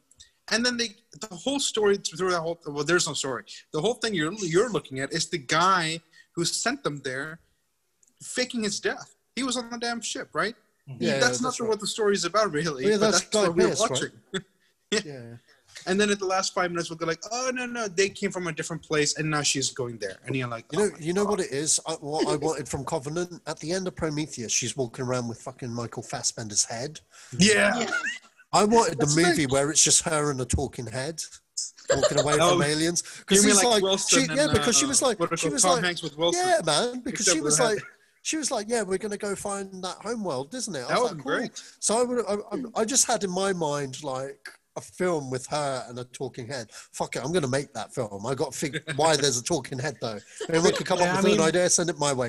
Um, Yeah, I mean, Ridley Scott should just leave this alone now. I mean, Yeah, someone else yeah. do something different with it because you know when he's not doing it, you know, like I really enjoyed The Martian. I really enjoyed All the Money in the World. Yeah. Um, you know, those are two films he did, like his last couple of films, which were fantastic. And you know, his new film that he's got coming up, uh, The Last Duel, that's got like amazing, amazing cast. It's got Ben Affleck, Matt Damon, Adam Driver, um, you know, and uh, Jodie Comer. It's got you know, fantastic. And it's like, look, just make these movies, man. Mm. You know, because he executive produces the hell out of everything. Yeah, he, that's he right. is um because he's doing like a um um was it like a Blade Runner TV? Can I tell you a secret? Can I tell you a like that as secret? well. The executive producer is not a producer; it's a job, a title. It's the fact that his company's making it. His name will automatically. Oh automatically. yeah, come yeah, up. yeah, yeah. But he's That's got it. that's what I'm. He's got his name attached to so much. Exactly. If your company makes it, the perfect way to put your name on it, to sell it, is put your name on it. That's it. Yeah, yeah. And I think uh, there's a there's always a danger of Gladiator like Two as well, right? He's supposed to be doing that as well. which one? Gladiator Two. Uh, I think they just put that on there just for the sake of it because, like, they, they were talks like years ago, but it's nothing really serious. Russell Crowe mentioned it recently as well. He was Yeah. like, it's kind of a dead project at this point. IMDb need to update their shit, man. Um, Yeah. what was- but what was I going to say? Um, now that Joe's not here, a few years ago, because Joe hates this idea, a few years ago, um, before Chappie came out, well, but no, around the time of Chappie, Neil Blomkamp, because Sigourney Weaver was in Chappie, Neil Blomkamp put up some fan art that he did on his Instagram showing showing Michael Biehn as Hicks. No, yeah, as Hicks. Is it Hicks? Yeah, Michael Biehn as Hicks. Um, you know, with scars from the acid burn, and and Newt and Sigourney Weaver for a version of Alien Free because he wanted to do the true Alien Free Yeah. with Right. Sigourney Weaver because apparently he's had this idea since he was a child and shit. He pitched it to her and she fell in love with it and she was like, I'm in. And the only reason why this film never got made is because um, Ridley Scott was in Prometheus Land and he's because he has a lot more stay over at Fox and stuff. He was like, well, no, you know, no, basically, I want to do my shit. Thing is, I think real Alien fans, we love Sigourney. Mm-hmm. Yeah. And I think across the board, I mean, Alien Free, you know what? It's it's not a terrible movie. It's just not the movie we wanted at the time. You know, rewatching it now and knowing, yeah, what goes on, yeah, it's okay. It's okay.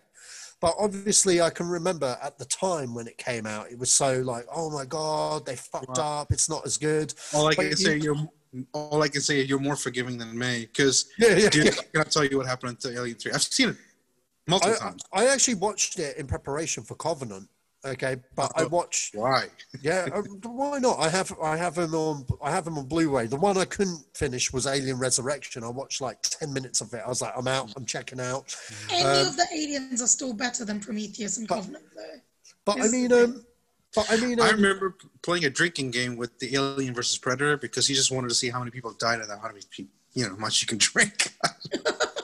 Because it was mean- a dumbass movie as well. but I mean, I would you guys have problem when you- preferred?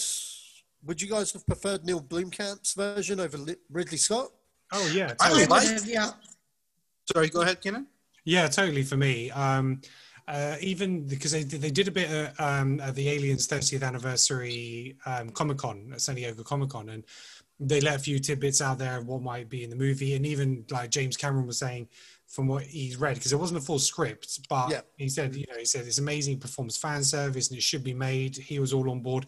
Weaver was on board, you know, and you know, he was uh, xenomorphs. He was going to have new, you know, new going back to those and have new versions of those. And yeah, it's going to be the Alien sequel that should have been in a sense. And yeah, that I think, I think people would have enjoyed that much more. and It would have relate much more box office success than Ridley Scott's stuff. So Agreed, yeah. I I, mean, think I've- the issue is when you start doing something that's like a pet prep project for you, Mm-hmm. and it isn't actually something that you're thinking about what the fans want and need in a franchise. You're just doing it because it's something you feel is a is a passion project for you, but not really delivering on it. And I think Ridley Scott is like erring on that territory right now, where if he just continues to do this, there's absolutely no need. I think I've Ridley Scott's being greedy with the thing is simply that he Yeah. it's just his, he wants it, he wants to keep it, that sort of a thing. Because I think, I mean, if uh, what's his name, Bookman, Bo- Bokum, or whatever his name is, the uh, South African, um, I think Oh, he would have brought Bloomkamp. a lot of fresh Bloomkamp. air. Yeah. Blomkamp. Bloomkamp. I think he would have brought a lot of fresh air to, I mean, s- sort of reignite the whole thing. It would have been quite different. Because look at his movies they're- they are somewhat of blockbusters, but they're quite different to the average sci-fi movies. I mean, you watch them, you know it's them. It's the same thing. He has his own signature, but it's not only that. It doesn't have the same, let's say, uh, algorithm or let's say formula to make a sci-fi movie Mm. that Yeah, I most what you mean. uh, what I call uh, Hollywood movies make. Anyway, ah, should we move on to another one? Yeah. Zack Snyder plans Army of the Dead prequel and anime over at Netflix. How how excited are you guys for Zack Snyder's Army of the Dead? Is it a prequel to which one? I can't remember which one he's done. Is it the Dawn of the Dead? He did the Dawn of the Dead remake. That was his first film, and I really enjoyed Right. that. That's the one with Ving Rhames. Yeah, yeah, I remember Yeah. that. But the Army of the Dead is, is a prequel to which movie? Army of the Dead? The one from the seventies? No, no, no, no. I think this. I think this is like a new kind of thing. I don't think it's connected to the old films and stuff. I just think it's another zombie film. It might. Right. I, I'm not too sure if it carries on off of Dawn of the Dead or set in that same universe, being his Right. Dawn of the Dead. Right. But I know he's doing this zombie film for Netflix. Um, looks like they've signed him for a prequel to this current one that he's bringing out. Um, do we need Oh. more zombie? Do we need more zombies? And how excited are you guys for um, Army of the Dead? I don't know. I, I I, mean- just don't think zombies can do it. The zombies don't do anything for me anymore. I think Yeah. um, The Walking Dead just killed my passion with those, and I gave up on that. Se- I gave up on that series. I think I got to like season, maybe I can't even remember now, six or seven, and I was just like, I'm trying to stick with it because I've been loyal, and then I just gave up. I just I don't care. I think I watched it up until um, Rick was in it, and then that was it. And yeah, you know, World War Z and everything else. It's in COD games. It's uh, I, you can't I, you can't really show me anything new now for zombies, and it's just um, you know, I guess it depends on the premise, but yeah, I can't say I'm excited for this. Like I said, I haven't seen any of the um, any of these. Uh, the I haven't seen Army of the Dead, and I haven't seen Dawn of the Dead or anything like that. So Oh, you um, never saw um, Zack Snyder's first one? No, no. I oh have. man, that is a good film. I'll, I'll tell you this. I haven't that is seen a Dawn of the Dead, Evil D- Dead, nothing, none of these dead films. So Wow. I don't Care. I recently saw a couple of them. Was was like Teachers versus the Zombies or something. I mean, they were all comedies, really. I don't think they did like a lot of money on the uh, cinemas or anything like that, but they were a lot fun to watch because it was more about comedy than you know being afraid of zombies and stuff like that. I don't think I'm. Ex- I'm. I'm like Ken here. I feel like it's oversaturation when it comes to zombies. What the the kind of more interesting thing that I found was the White Walkers in Game of Thrones, and then look what happened to Game of Thrones. so I just don't think I care about things. All I want, all I want from zombies, all I want from zombies is real Resident Evil done properly as a damn movie. Am I going to get it? No, No, I'm not going to get it. I know Netflix are rebooting go, it. I can't because they're butchering it again, man. Netflix are rebooting it and they fucked up with their opening statement with where they're going with it. I'm like, where's my Chris Redfield? Where's my Claire Redfield? Where's my Wesker? Wesker has children. That guy can't breed. That's almost as ridiculous as Palpatine having children. I mean, what the fuck? Oh God. And my fan, the fan, the Resident Evil fanboy in me went nuts last podcast. I was like, you guys had one job. It's like, get the fucking game, just follow the fucking game. Just cut the fat, just follow the game. I want to see zombie dogs. I want to see fucking massive shotguns. I want to see a damn minigun, and I want crazy ass monsters that people have never even conceived before. And and and they failed. They failed. And I haven't even seen a trailer. I just know they failed because it's like the opening announcement they did on that whole thing, I was just like, well, this isn't based on the game. This is someone goes, oh, zombies. I got an idea for a zombie film. I'm gonna make up my own characters, and it's like, Exactly. that's not what They, they fans could want. have easily done like what Silent Hill did and actually made. Oh man, really Silent Hill was so good. Silent Hill's incredible. Like honestly, like, Excellent. it's Yeah. yeah. it's such a good film. And Wait, there was a second one. Yeah, Oh, that must have been bad. we just won't Oh. speak about the second one. but the first one is so incredibly immersive, Yeah, and it really like the horror just is coming to life as you're continuing through this world. And Yeah. if Resident Evil had done even remotely that amount of effort, it would have been amazing. But they just yeah, they savagely let it down. Man, I hate I hate those films, man. Those films, it was like this is supposed to be a horror movie. Why is it an action movie? And who the And fuck is and who the fuck is Alice? Who the fuck is Alice? She ain't no game. Why is she the main character? Why is she doing kung fu? Where's this chick in the game? Oh wait, wait, second film. Oh, Jill Valentine's in it. Okay, they finally got a character. Jill Valentine died. All right, I'm out. Did she die? I don't know. I made that up. But you know what? After all I remember was all I remember there was like they had the tyrant. Sorry, I'm going into a thing. Ken don't know what I'm talking about, but I can tell. No, it was Nemesis. They had the Nemesis creature. I was like, oh, Nemesis is in this. And then they had Alice having some love story with the fucking Nemesis creature, and Joe walked out the cinema. Joe was like, I'm out. I'm gone. I'm out. What the fuck hmm. was that? And I was like, wow, Nemesis, they've tried to make Nemesis have a heart, man. What the fuck? What the fuck? This is whack. I'm out. and I followed I Joe just- 10 minutes later. It's definitely just like the franchise that someone just decided they wanted Milla Jovovich to be in everything. Oh, yeah, her give her- husband, her husband give her, directs like- all those films. No, but exactly that's my point. It- There's nothing to do with uh, with the game. It's nothing to do with anything credible. It's nothing to do with horror.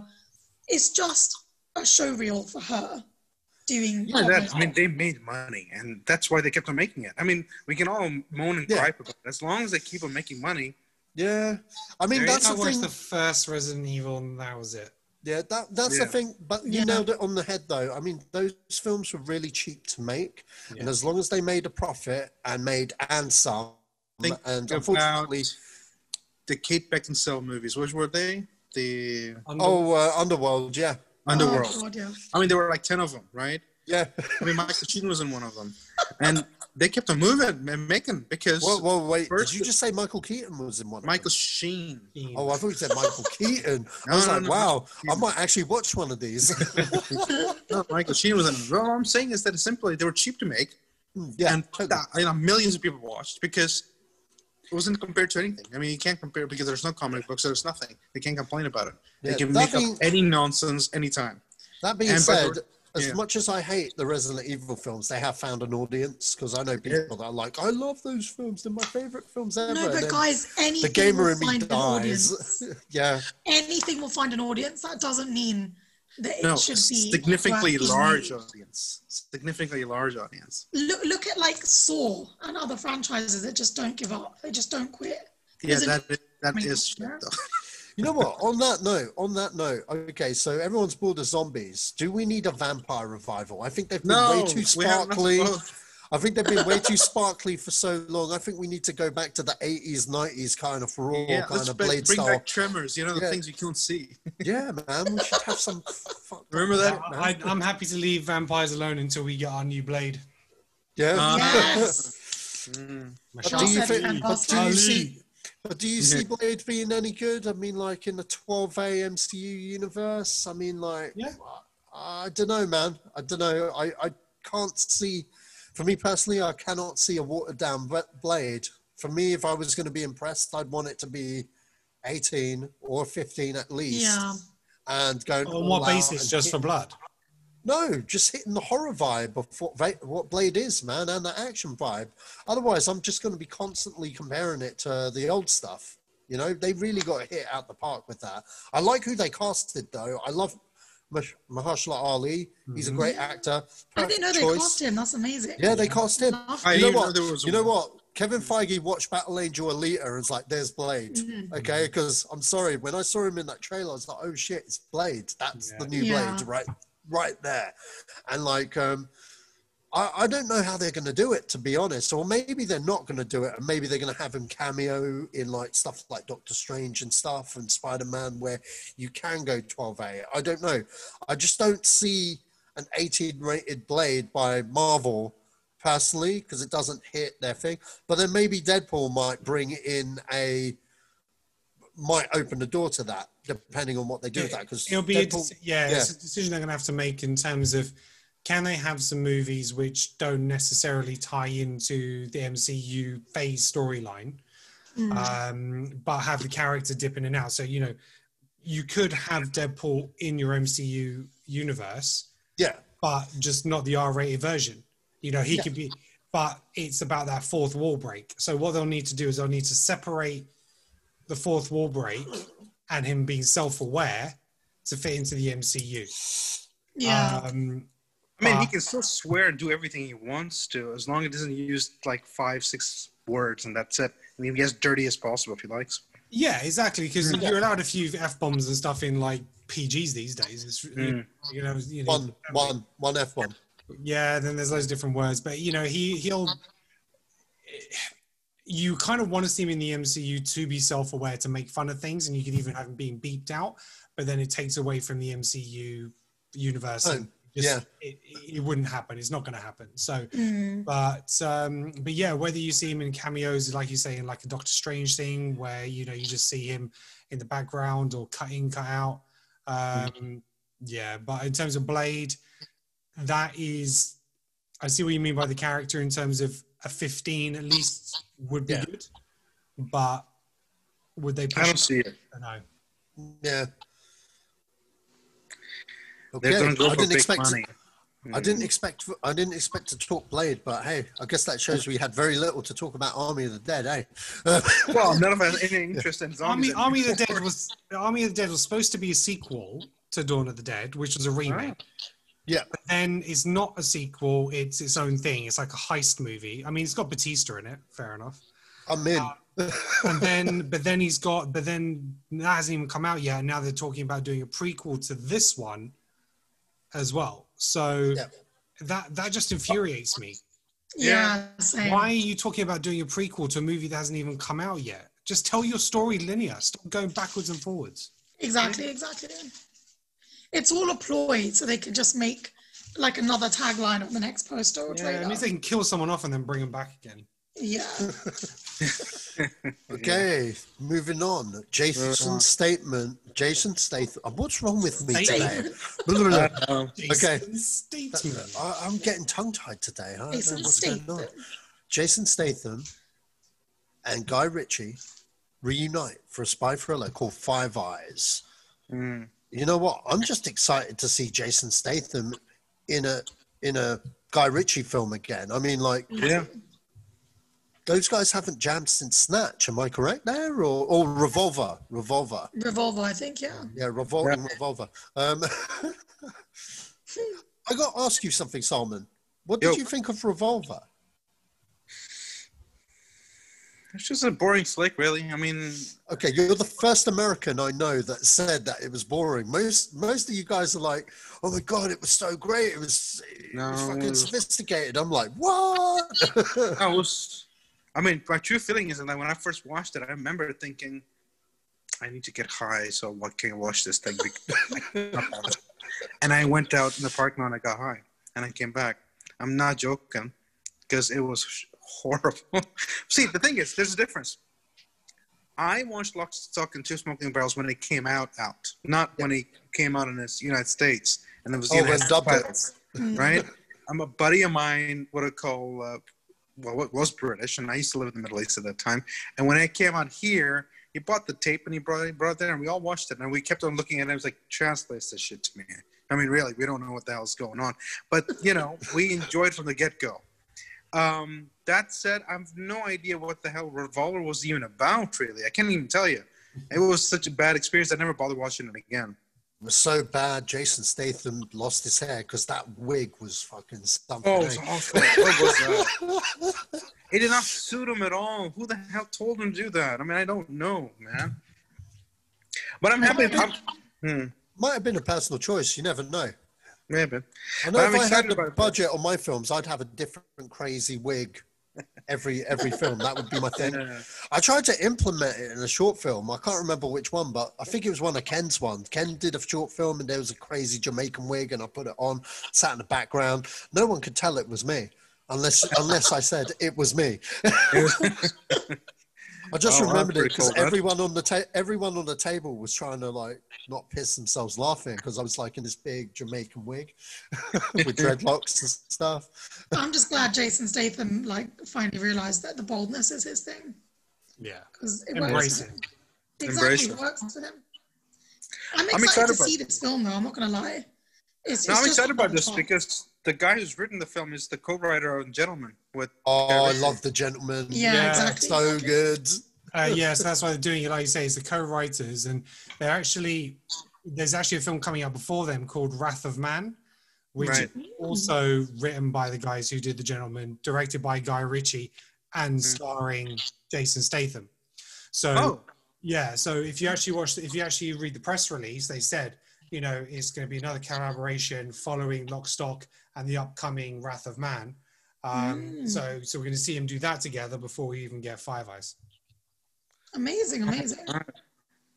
good, good. Looking forward to this. I, I was gonna say I think Guy Ritchie was, mm, dare I say, losing his cool a little bit until The Gentlemen. I think his uh, the the uh, what was the uh, the sword thing that he did? What was it called? Arthur? What, Arthur. Yeah, I Yeah. think um, it came out at the wrong time. I mean, the weekend it came out there were like 20 massive movies. I mean, Yeah. Disney movies came out the same week, so I don't think anybody really watched it. On top of No, it, but it was wasn't- very it Guy wasn't Ritchie that movie. good. It wasn't that Sorry? good though. No, No, it's it supposed wasn't to be a good. trilogy. It was supposed to be a trilogy and got delayed because they reshot, they re-edited, they re-edited that thing so many times because it just didn't play well with test audiences. And then Yeah. eventually got released, and yeah, there ain't going to be no sequel for that. But I think like the Man from Uncle, that's like kind of underrated. I quite enjoyed that. Yeah, that's a Yeah. really Right. film. Yeah. Yeah, I agree. I quite enjoyed that. Saying But that, I- though, What about, I- but, but what about Aladdin? You know, he did that. You forget that, and he's gonna, apparently he's going to do Aladdin too as well. yeah, he is. Well, Aladdin did very well. I mean, I'm not Okay. gonna lie, I wasn't a Aladdin did well though because it is a Disney thing. Yeah, So even though he's directed it, he, it's never going to be a Guy Ritchie film hmm. because Yeah. it's it's it Disney's didn't even. baby. It actually didn't even feel like a Guy Ritchie film. No, exactly. Think about it. I think Guy Ritchie just let his first AD just go nuts with his DOP, and they were like, "We got this shit now," and he was just in the back counting the money and stuff, and No, you know, but, but if you look at the film itself, Yeah. there is a bit of Guy Ritchie in it, and I'll tell you why. And you have to look at the scene um, sequences, the speed, the way to switch Yeah. between Oh, yeah, the robbery totally. scene and all that. They're all like Guy Ritchie stuff. So he Oh, yeah. did bring it in. It wasn't the language that we all are accustomed to when it comes to Guy Ritchie. That wasn't there. There was Yeah. no Cockney guy yapping and you know narrating. The in back. language or the the like the plot, like the screenplay, obviously, because obviously, yeah, obviously. But- But, but it I was mean, refreshing, it was fast, and we all liked it. Yeah, I'll tell you. I'll tell you what I did like about it. Will Smith Yeah, was great. Yeah. Will Smith was great. And you know what? I remember when they casted Will Smith, I even said back then, I was like, you know what? Like, he's no Robin Williams, but you can't have Robin Williams. You have to bring Exactly. someone to do their own thing. And when Yeah. they said Will Smith, I could see his, I could already see his version of it. And I didn't Yeah. hate it. I didn't hate it. Hmm. And obviously, when they showed that first trailer, it looked a bit uh, pony. But then when you see the actual film itself, he's actually the best part of the film, man. I actually really enjoyed Yeah. his genie, and I didn't have a problem with him. I had a problem with Jafar. I had a problem with the lead actor that was Aladdin. That guy tried to moan how he wouldn't get roles. I'm like, yeah, because everyone saw you in Aladdin and realized you suck. You can't act. Sure, you could sing and you sounded like the cartoon character, but there's a difference, okay? He was as wooden as Hayden Christensen was in fucking Star Wars, man. Like, I fuck. wouldn't go that far. I would. No, damn, I was brutal. I was like looking at this guy. I I was like, bro, you're brutal on it. I didn't That's- mind him that much. The worst Dude. thing. yeah, I didn't mind him. nah, Where did he was go? shit. Has he done Jafar. Jafar was just a case of was also bad casting because like Yeah. that guy, but they just casted a pretty boy and not like a creepy old man. Oh, wait a minute, man. who's Jafar? Who's Jafar? Exactly. No one knows. Yeah, exactly. Waste. He had no presence. I remember as Naomi Scott, and I really liked her in that. He was film. fantastic. Yeah. Yeah, she was. She was, She was cool. great, and she definitely looked Middle Eastern, which surprises me. At the same time, the film did really well because of the IP, and people were curious to see Aladdin and stuff. And you know, there's going to Disney likes sequels, and Guy Ritchie likes money. And you know what? The best thing, the best thing to come out of it was we got the Gentlemen. And, Yeah, and exactly. Yes. It looks like because now he's playing the game. Before he was like trying to do like the next big franchise that would have multiple stuff, mm. and it just looks like you know he needed his Disney thing, so he can go off and do like stuff like the Gentlemen, stuff like Yeah. you know what I mean. Personally, I want a RocknRolla too because we were promised, God damn it, and I That was a really like that film. Yeah, me too. I That was did a great enjoy that film. Yeah. I actually recently, uh, during this pandemic, rewatched all Guy Ritchie movies. And I Oh, rewatched Lock, Stock, and Smoking Barrels. And man, I kind of had completely forgotten about that film. And not only that, I, I was finding it funny that the scenes looked new to me, but all the dialogues I knew by heart. Because I was repeating a lot of what I was saying. I was like, oh man, I, I must have seen this so many times that I actually remember the dialogue, but I've forgotten the scenes. What's your favorite? What's your favorite Snatch. one? Yeah, me, me Sorry? too. Snatch is hands down my favorite. Which one? Snatch. Snatch. That is a brilliant film, yeah. Mine, uh, I can't, I can't say. I mean, I probably say it's what it calls Snatch, probably too. But I think Lockstock was because I saw it in high school, and it was sort of a, I guess, would be my favorite. And then I liked Rock and Roll as well. And Gentlemen was really, really good as well. Yeah, Gentlemen, like I think has gone right up near the top for me. That Yeah. was You know a who? good film. You know who really steals the show for Gentlemen for me? Hugh Grant. Hmm. Yes. Hugh Grant just fucking smacked down that film, was man. amazing Thank that. God he stopped doing rom coms. I mean, we actually see that this guy can actually fucking act. You know. I mean, the English Scandal was great. The uh, Man from Uncle, what Kevin Yeah. Sorbo- Oh yeah, He yeah. was fun in that too. I And forgot he yeah, was in that. brilliant too. Maybe you should do more Guy Ritchie films. He seems to get the best out of him. Exactly.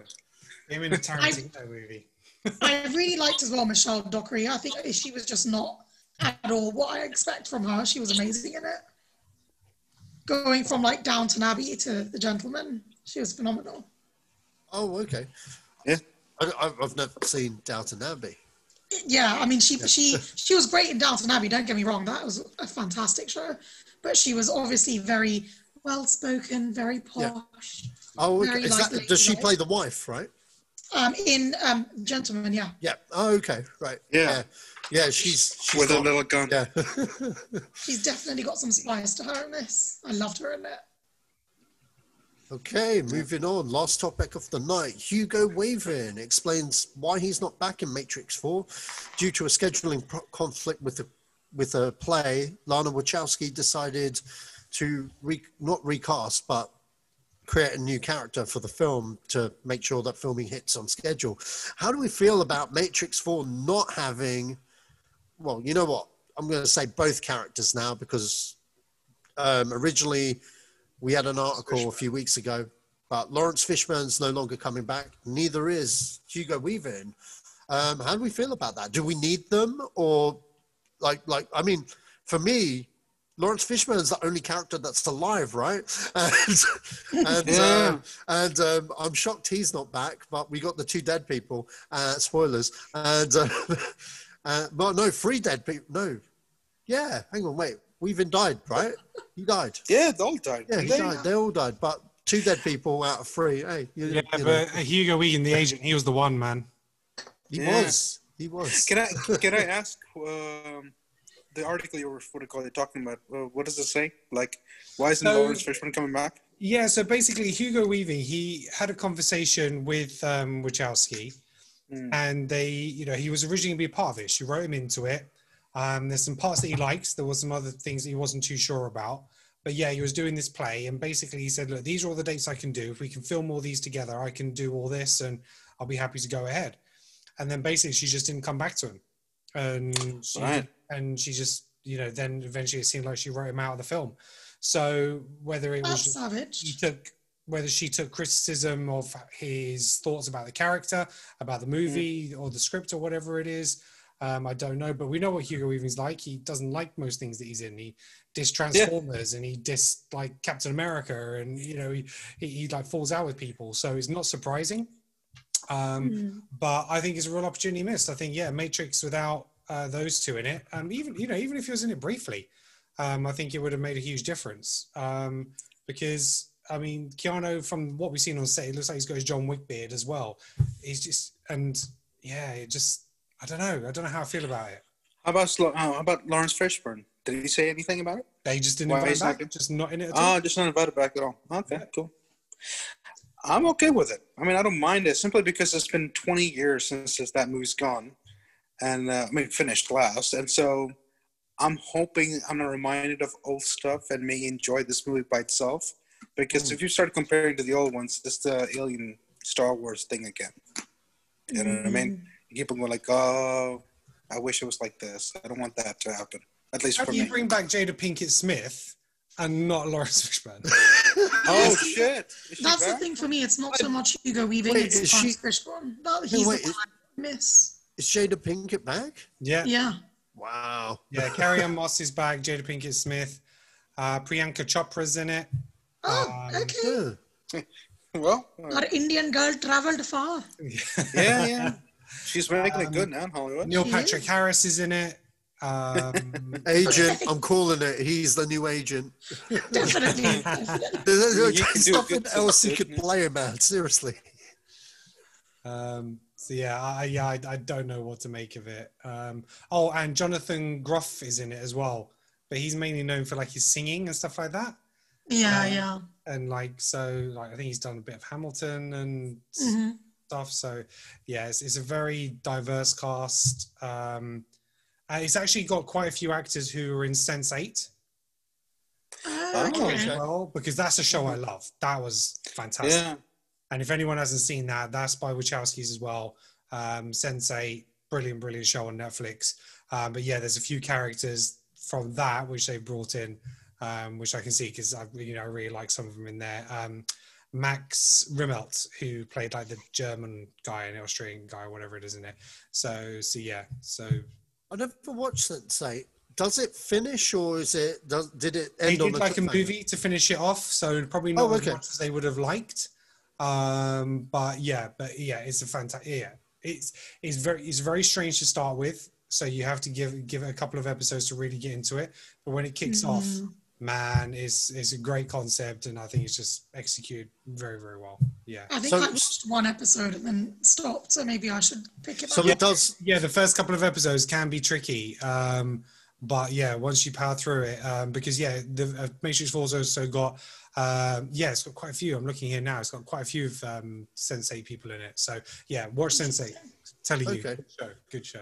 Yeah, I, I, I think I stopped after watching the first episode. I don't think Mhm. I've seen that. Yeah, the first first couple of episodes is it's it's, it's a little bit of a slog, but once you get past Yeah. it, oh, Yeah. delivers, man, it really delivers. I think the thing with the Matrix is just like anyone who's really a diehard fan, knowing that the Wachowskis are still helm, you know, still at the helm, um, Keanu's in it, the rest are in it. I think regardless, we're all gonna watch it. Let's not pretend it's Oh, gonna yeah. be. Yeah. It'll Oh, yeah. be. Oh yeah, It'll be great regardless. Um, I'm actually thinking of the fact it's been 20 years, so there's a whole new Mm. generation of people who have no idea what the hell Matrix is, and will be Exactly. watching that. And it's going to pop, all the first Matrixes are going to pop up in all our streaming services to us for watch before the movie Yeah. comes out. And let's try not to, because then we'll compare it. And that's not going to help. Yeah, but I mean, the the biggest thing for me is that it's not like you know an alien situation where someone random is like, you know, picking it up, or or a Star Wars thing Mm. where someone else has picked up the story from someone else. This is still the Wachowskis' baby, and I I hope and I pray that they will remain faithful to the story, but stick through with the characters and keep it as badass as it's always been. If they start to I guess, try and adapt it to the audiences for now, trying to market a younger audience, then I think they're going to screw this up a little bit. But I'm hoping they stick true to what they've been doing with the whole franchise before. Fingers crossed. But, yeah, I mean, it's only one of the Wachowskis who have come back. It's uh, Lana. Lana, Lana, yeah. Only the She- one, she- okay? I didn't yeah. know that. Yeah, it's only Well, come back to direct, and Lana's co-written it. Um, but Okay. yeah, it's only one of them's actually come back to direct. Yeah, Lily Wachowski didn't want to come back because she hates the way Hollywood is run now. Mhm. Um, her exact quote was her exact quote was she hates the idea of marketing people being on set and in editing booths and you know I mean making decisions that should be clearly left in the marketing department rather than you know on the actual movie. And um, yeah, well, we all know I agree with that. Um, Rise of Skywalker. Um, Yeah. yeah. No, fair play to her. It's more of a credible argument, to be fair. Yeah. All right. That's a wrap, folks. Where can we find you, Ken? Uh, you can find me on Twitter um, at Kenan Talks Film uh, for all your latest movie news. Amrita? Uh, I am mostly just on Facebook under my name, Amrita, but, and I have blue hair, not that difficult to find, or Instagram under Quirky Turquoise. And Solomon. And I'm on Twitter and Instagram under Sal underscore F1. And if I haven't added you guys, it's because I keep forgetting I do a podcast. Usually I just add my friends. So I've got to remember this. But you can find me on SachMan3 on Twitter. I'm really sorry if I haven't accepted any of your stuff because I have started to get a few things. And like, it's not being re- me being rude. It's like me actually genuinely realizing I do a podcast by myself now. It's not really, usually it was like always Joe's thing. You know mm-hmm. what I mean? And Yeah. I guest on. And like, now that it's exploded because of this pandemic, I've more or less become the guy without mm. really. It's kind of like accidental how it's all happened. So Actually, you are the guy. I don't ever doubt it for one Yeah. second. Zedos appreciate the- gang, my friends. Zedos Yeah. gang. It's a team. appreciate appreciate the appreciate the love and like if anyone's messaged me, I'll get back to you. all right, cool. Um, All right. We're Zedos gang, and we're out. Yep. Out. Go on, go on, go on, go on. Go on, go on, do it, do it, do it, do it, do it. Come on. I am the man that killed Jaime Lannister.